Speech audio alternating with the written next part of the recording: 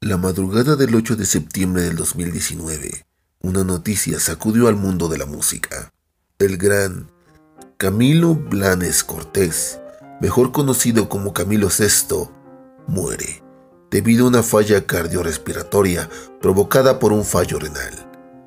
Con más de 40 producciones discográficas, fue uno de los intérpretes con mayor cantidad de canciones número 1, 52 en total, y 18 en la lista de los 40 principales, y con una estimación de ventas que superan los 70 millones de copias. Camilo VI fue una figura reverencial e inigualable en la balada romántica.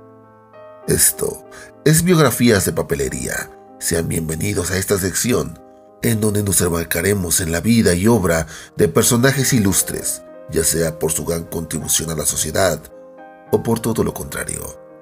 En esta ocasión, el segmento será dedicado en forma de homenaje a este gran cantante que ha partido dejándonos un legado que perdurará siempre en memoria de sus fans y de todo aquel que se enamore de su música.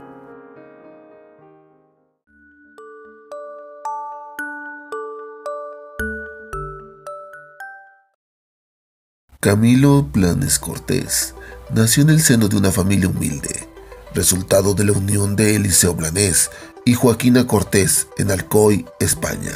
Tuvo una infancia normal, en donde en un principio mostraba dotes para la música, participando en el coro de la iglesia en Alcoy, pero no fue hasta los 16 años en que se convertiría de lleno en su interés completo.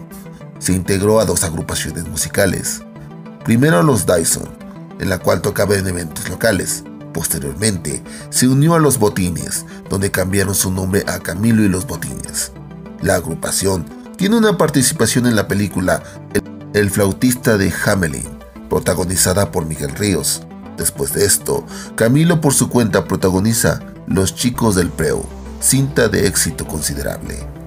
En 1970, Camilo inicia una carrera en solitario bajo el nombre de Camilo VI, de la mano de los temas Llegará el verano y Sin dirección. Temas que le dan reconocimiento y en marzo de ese año graba su primer álbum, Algo de mí, cambiando el sexto por sexto. El tema, Algo de mí, se transforma en el primer número uno de cantante en solitario, consagrándose como el favorito del público. Dos años después, visita Argentina y otros países en donde edita su álbum Solo un hombre, en 1973, el cantante participa en el Festival OTI de la canción, en donde obtuvo el quinto lugar, pero curiosamente, el tema Algo más, tema con el cual participó, se convirtió en un éxito de ventas en el festival. Participó en la creación de la música para la obra Quédate a desayunar de Marisol y en noviembre de ese año sale a la venta el álbum Algo más, uno de sus álbumes más vendidos y que se posicionó número uno en varios países del mundo. Un año después participa en el Festival de Viña del Mar, en Chile, donde se hizo con el reconocimiento del público. Después de eso, editó el álbum Camilo, que le otorgó discos de oro en México, Chile y Venezuela. En 1975 protagonizó la ópera rock Jesucristo Superstars, costeada y producida por el propio Camilo VI obteniendo un gran éxito. Este mismo año produce su siguiente álbum, Amor Libre, donde destaca el tema Melina. La lista de álbumes producidos por el cantante siguen llevando una vida de éxitos imparables entre los años de 1970 y 1987, teniendo un breve retiro debido al nacimiento de su hijo, Camilo Planes Jr., en 1983, fruto de su relación con la mexicana Lourdes Ornelas, a quien le ganó la custodia. Me voy porque quiero hacerme mayor viendo hacerse mayor a mi hijo, declaró el cantante, siendo esa la principal razón de su retiro momentáneo. Posteriormente dejó el retiro y se recompone al mundo del espectáculo dejando su vida privada lejos de la mirada de la prensa, generando una aire de especulación de lo que pasaba detrás de las puertas de su casa. El cantante fue víctima del alcoholismo, lo que le provocó la urgencia de un trasplante de hígado en el año 2001. Desgraciadamente, su cuerpo rechazó el trasplante, por lo que tuvo que repetirse. Sumado a esto, en el año 2011 sufrió un accidente doméstico que lo obligaron a regresar al quirófano, lo que mermó demasiado su salud. Posteriormente, en el año 2013, su morada en Madrid fue invadida. Un año después, en 2014, su retiro es anunciado, pero Camilo continuó realizando actuaciones esporádicas en países como Argentina, Chile, Perú, Colombia, Puerto Rico, México y Estados Unidos en el 2016, coincidiendo con su cumpleaños 70, saca Camilo 70, una recopilación de sus más grandes éxitos y temas inéditos. Y a finales del año pasado sacó su último álbum, Camilo Sinfónico, el cual se tenía planeado una gira de promoción, la cual ya no se pudo completar debido al fallecimiento del cantante el 8 de septiembre del 2019.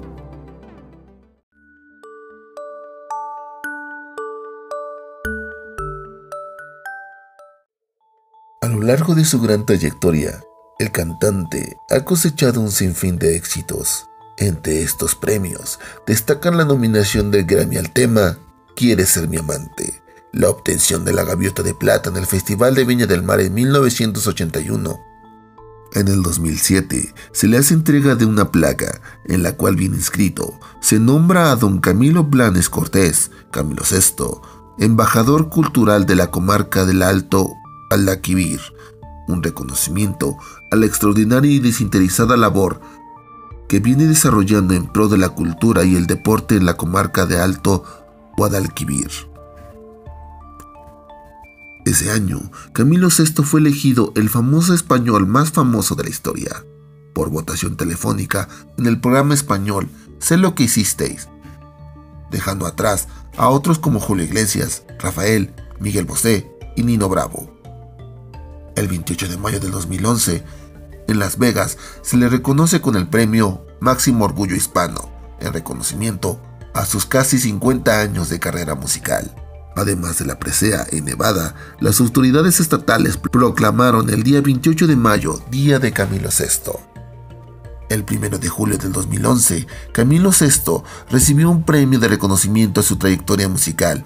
Recibió el galardón en la Plaza de Callao de Madrid el 29 de octubre del 2012, después de dos meses de votaciones en un concurso radial en Perú, se eligió a Camilo VI como el más grande de la música en español. Y por último, el 18 de noviembre de 2016, es nombrado Hijo Predilecto y Medalla de Oro de Alcoy, España.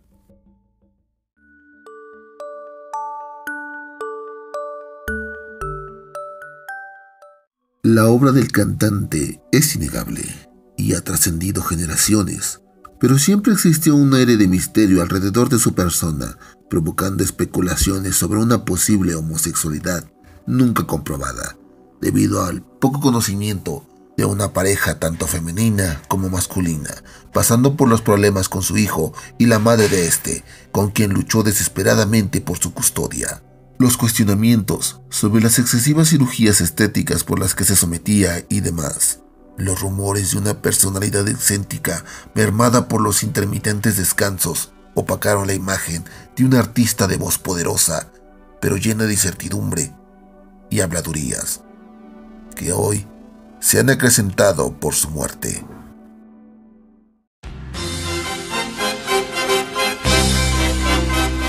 grande de la balada romántica ha partido, dejándonos un repertorio de letras escritas con amor y con hambre de vida, como decía él.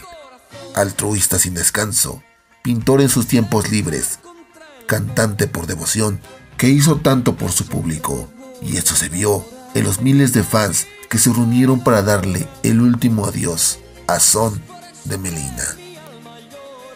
En honor a su memoria y legado, tómate un minuto y disfruta de ese romanticismo que vivirá siempre dentro de los corazones enamorados. Grande Camilo VI. De mi parte, ha sido todo. Me despido, no sin antes recordarte que me sigas en mis redes sociales, sobre todo en Instagram, donde encontrarás un recopilatorio de seis de mis canciones favoritas de este gran cantante, que estoy seguro que te fascinará. El link está en la descripción y sin más que decir, hasta la próxima.